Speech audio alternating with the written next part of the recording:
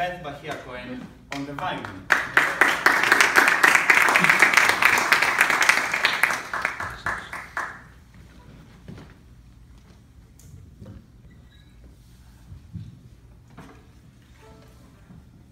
So the next piece is called Gekas, and uh, it is from the north and west part of Greece, which is called Epirus. This is where I'm from, this is where my master is from, from Yanina.